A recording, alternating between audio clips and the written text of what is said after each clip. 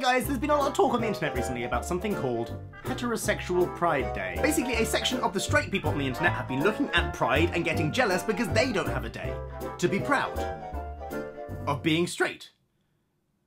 Which is every day. Pride for minority sexualities is not about being proud. It's about being proud in the face of or despite the fact that people or society are telling you you should be ashamed. Nobody wants you to be not proud of being straight. That's fine, you can be proud of whatever you're proud of, that's okay. You don't just hold pride parades for absolutely anything that you're proud of. I, for example, am proud of the film that I'm making. I'm not holding a Luke's Film Pride Parade Day because nobody's told me I should be ashamed of it. Yet. Requesting a Pride Day for straight people is silly. I think even the people who are requesting it, deep down, know that it's a bit silly. It's either that or they're just really stupid. It's that, isn't it? They're just they're just really stupid. But to try to explain why it's silly to the people, to the world, to anybody watching this who thinks that that's a good idea, I thought I'd put together this. Things that are approximately as silly as requesting a straight Pride Day. For the last 75 years, Oxfam has proudly given away money and food to poor people who really need it.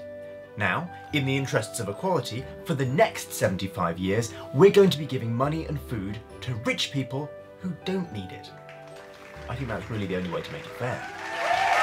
Ugh, look at all these disabled parking spaces. Where are the able-bodied parking spaces? Ooh, I can't wait to watch the Orange is the New Black trailer. Why is there gonna be a token straight white man in everything these days? Are you sick of being left out just because you have a penis? Are other people being given opportunities that you want? And do those people happen to not have penises? Stand up. Stand up and be proud. Penis Pride Day. Come on down.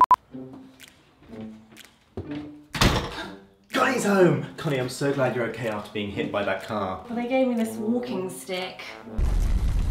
I, I want a walking stick. Can I have a walking stick? But you don't need a walking stick. It's not fair. This is able-bodied racism. It's, it, it's broken leg privilege. Hi guys, so recently everyone's been talking about LGBTQIA+. Plus Plus what? Plus what indeed? Plus S for straight people. I made us vegan dinner. Smells good. And I'm pretty proud of it. Uh, oh, oh god. So it's time for Luke's Dinner Pride Day. Luke's Dinner Pride la la la la la la la. Have a nice straight Pride Day, son. But mum, you say that every day. Exactly.